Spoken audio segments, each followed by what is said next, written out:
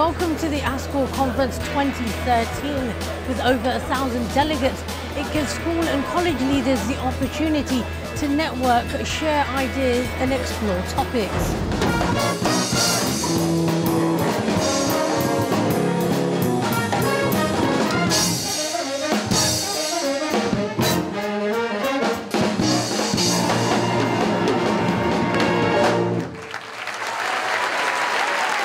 Be honest, I've been coming to ASCL for 12 to 14 years. I've always found it to be the best professional development that you can have, really. We've come here today just to sort of network as well as learning about the new proposals and curriculum pathways that are on offer for our students. To really find out what other schools are doing, to share your experiences and to learn from them. Some really high calibre presenters, ranging from Michael Gove, Michael Wilshaw, like them or love them. It's really interesting to hear things from the horse's mouth. I thought Brian's speech was excellent. Shouldn't the advancement of our education be a joint enterprise, with government and the profession working together? You don't consult the profession, and when you do, you don't listen if you don't like what you hear.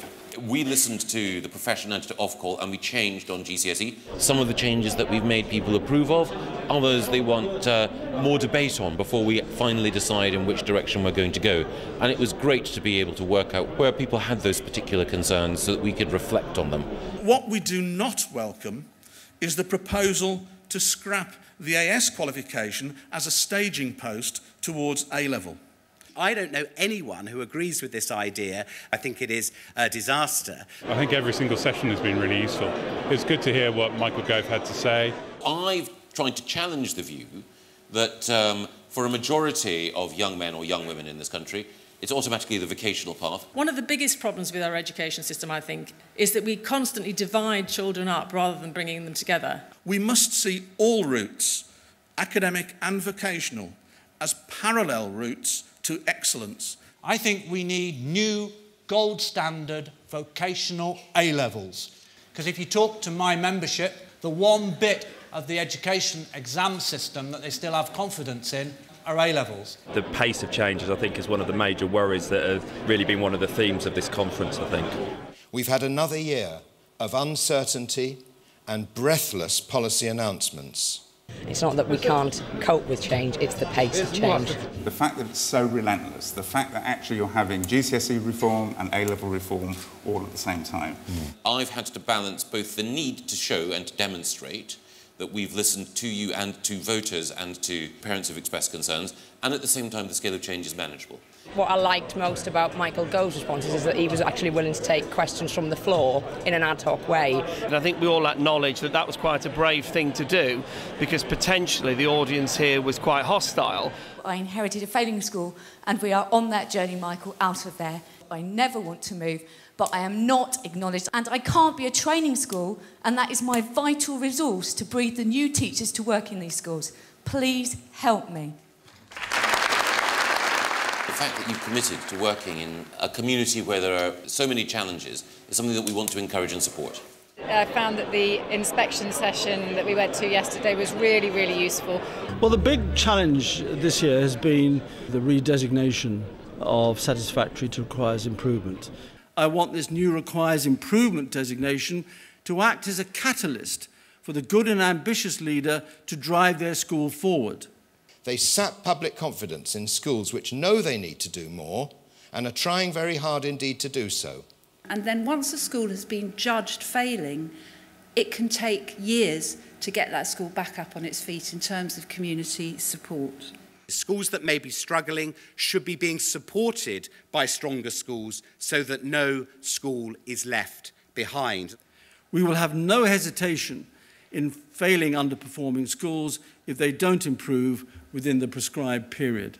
It's time to move to an equally rigorous but more intelligent approach to inspection which befits a high status profession. I think the kind of theme of the conference of positive leadership I found really inspirational. Well, a positive leader is someone who inspires, motivates, energises, and unites the team around them. I think it's that uh, pat on the back, really, to say that you are doing a fantastic job despite the odds at times. Positive leadership is what we all need to hear. I think it's more important for politicians to listen, really, than to talk sometimes. So I thought it was better to have a session which allowed ASCL members to ask me what was on their mind.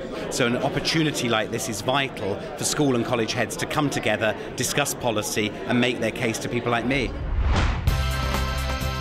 It's a great exhibition and it's great to be with such fantastic, innovative, creative college and school leaders. Update them on the things that we're doing, hear about the challenges they're facing. It's great just to see the different resources that are out there to aid us in our teaching. It's all about having an impact on learning and having the best impact for good on performance. We've had an excellent response this year. In fact, it's probably the best year we've ever had. The conference is a great supporter of Anthony Nolan and the work that it does, and I think we'll be contacting many schools to do some more presentations. The actual conference agenda itself is very topical and it covers a wide range of issues that schools leadership teams face. The things we've been showing them, particularly RM unifiers, have gone down really well and RM books as well, steps to move these sort of traditional things into the cloud and the technology forums. We've just launched a new app for a student plan across in Britain, but the feedback's been fantastic and that's really one of the, the reasons we come.